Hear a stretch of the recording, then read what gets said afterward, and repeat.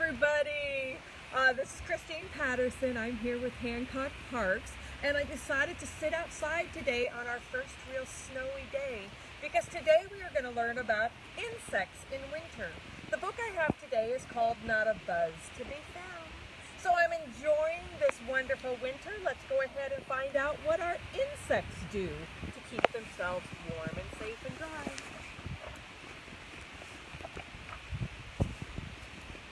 In summer, insects are all around, zipping, buzzing, zooming everywhere. But in winter, poof, they're all gone. Not a zip or a buzz or a zoom anywhere.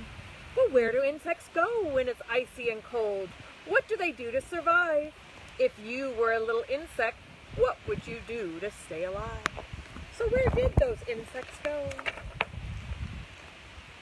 If you were a monarch butterfly, you'd take an amazing flight. You'd fly thousands of miles, migrating south where it doesn't freeze. There you'd join millions of monarchs all gathered around together in the trees. Boy, migrating sounds really good right about now. If you were a woolly, woolly bear caterpillar, you'd hide under a blanket of snow or leaves. Someday you'd turn into a moth with wings. But in the winter, you'd curl up and sleep and sleep. See the little caterpillar right there? If you were a ladybird beetle, you'd hide under the logs and leaves and huddle with thousands of others. I see them hiding. You'd barely move or breathe. But what if you were a honeybee? You'd eat the sweet honey in your hive and huddle with all the other. You'd all stay warm together, each taking turn in the warmest spot, the center, waiting for springtime. If you were a mourning cloak butterfly, you'd hide under the bark of a tree. You'd go into a deep, deep sleep, but you wouldn't freeze. Why not? You'd have something inside you like antifreeze. So they're hiding under the bark. But what if you're a praying mantis? Well, you'd still be inside your egg in a small egg case with hundreds of others waiting to hatch. All winter long, you'd stay snug and safe. And sometimes you can find those on the branches of bushes or trees. If you were a common poly, uh, pond hawk dragonfly, you'd be a baby nymph without wings. You'd look like a small water bug, and you'd live in the pond all the way down in the mud. So when the pond is frozen, they would bury themselves down in the mud.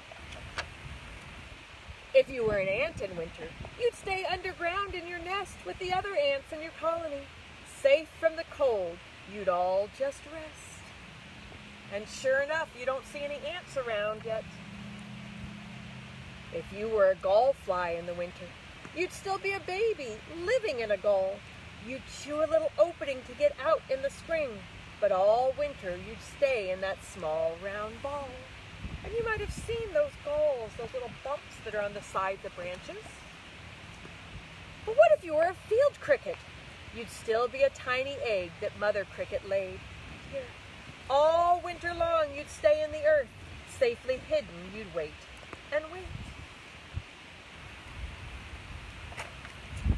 But what if you were a bald-faced hornet queen?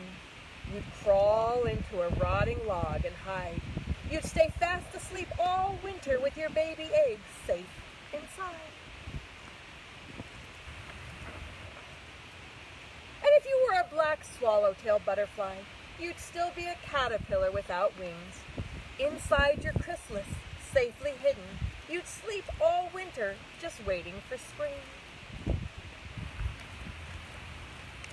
And then slowly, slowly, the air grows warmer.